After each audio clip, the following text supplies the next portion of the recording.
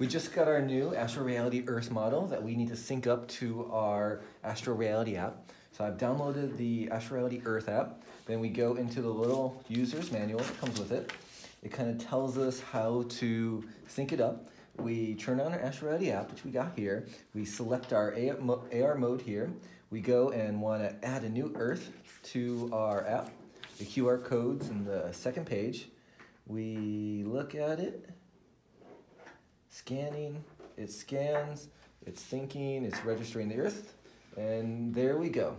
You see, as soon as we look to our Earth, it's linked up our um, augmented reality to the actual model. As I turn the model around, all these features moved with it. We see Dubai there pop up, Johannesburg in South Africa, Paris, France, and look at how well it's able to track using the camera. It knows exactly the phase of the Earth.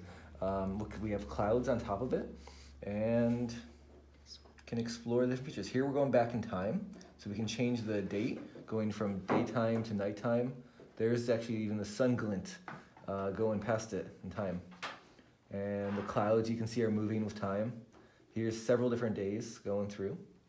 Um, when we click on a feature, it goes and shows information. You can learn about different cities, different data sets.